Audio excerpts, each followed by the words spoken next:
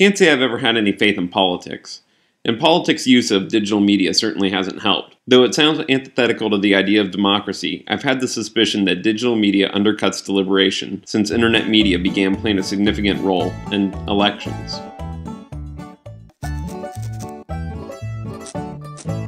This land is your land. If you have the time, hear me out. I know my video doesn't have the number of views needed to build momentum that translates into what Ridolfo and DeVoss call rhetorical velocity. I'm just one person. Just contribute enough of your time to watching this so Google can boost where I show up in searches. You'll give me a public voice then.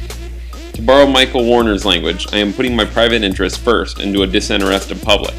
With any luck, the idea will catch on, and I will have a voice.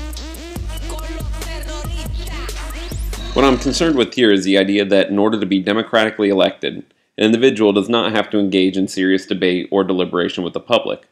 Sure, we still have debates of more democratic formats. The popular town hall style debate has even expanded into the CNN YouTube debates. Deedle McLaughlin notes were surrounded with distrust by newsmakers and politicians alike.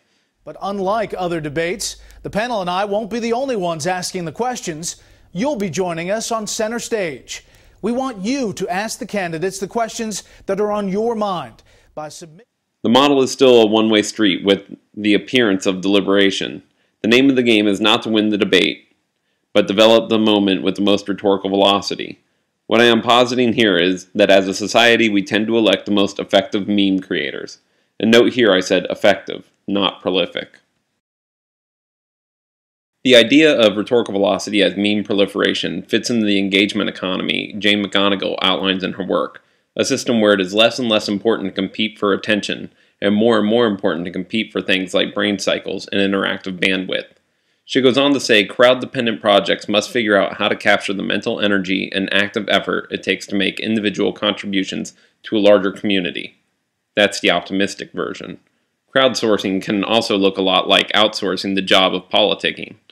As Ian Bogost notes, in many cases, politicking on social networks was a process driven entirely by voters rather than campaigns, efforts that reached far larger numbers than might have been possible previously. It sounds like individual voters have agency and influence. However, if we look at it in terms of memes, the role of the voter is reduced to propagating constructive media moments. In short, the retweet. Essentially, candidates need to act in such a way during a debate as to create the moment that gains rhetorical velocity. The idea is not as new or as edgy as it sounds. Warner points out that Addison and Steele use their newspaper, The Spectator, as a forerunner to mass media. All that has come since is simply an elaboration.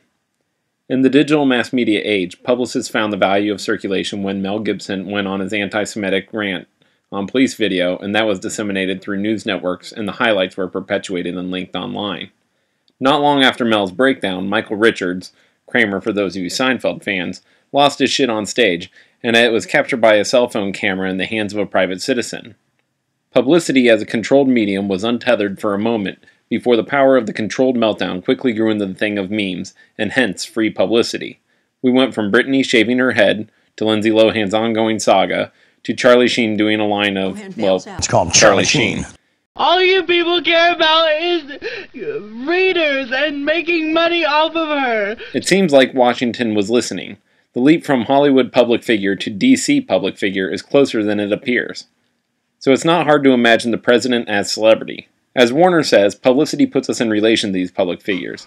Who's president of the United States in 1985? Ronald Reagan. Ronald Reagan? The actor?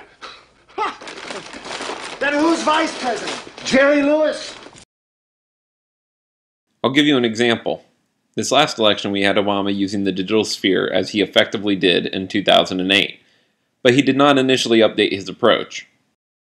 Romney, on the other hand, seemed to shun participation with his constituents in the digital I sphere. make sure that every new computer sold in this country after I'm president has installed on it a filter. Unfortunately for Romney, he could generate a meme a minute. I like PBS. I love Big Bird. I actually like Obama seemed to lay low, letting Romney propel himself into unintentional web sensation status.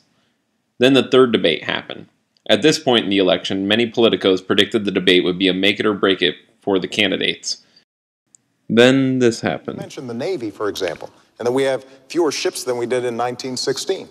Well, Governor, we also have fewer horses and bayonets. What happened here is that Romney took a line effective from his stump speeches and recycled it in a debate. Our Navy is now smaller than any time, well, in almost 100 years. Obama, like any good media chief, had probably studied Romney's stump speeches and knew Romney was likely to use the line about the Navy as an attack. Obama parried with horses and bayonets, and a meme, a carefully constructed, orchestrated, and strategic meme, was born. Obama's call to create memes can be likened to McGonigal's analysis of Wikipedia as a game space. Propagating the meme became a good game world, with sound mechanics and a community surrounding it. But playing this game also seems to be participating in the graffiti of subculture as Warner describes it. They are taking part in the parody of mass media, and by appearing everywhere they aspire to the placeless publicity of mass print or televisualization. The individual's limited opening into the public discussion could also be viewed in terms of Young's tyrannized publics. That is, publics manipulated by officials and media publics with little access to information and communication. Indeed, how much information has any of these moments of velocity provided? It is the international system of currency which determines the totality of life on this planet. Young says deliberation is competition, and that seems true enough. Young also notes that the norms of deliberation often operate as forms of power that silence or devalue the speech of some people. Essentially, it seems, we put ourselves out of business.